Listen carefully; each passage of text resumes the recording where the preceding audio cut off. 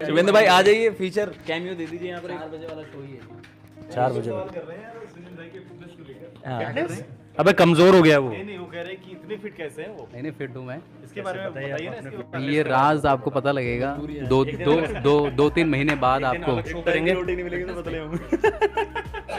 क्या बोल रहे हैं? ये दो टाइम की रोटी नहीं मिलेगी। एक दो महीने नहीं मिली थी बट अब मिल रही है।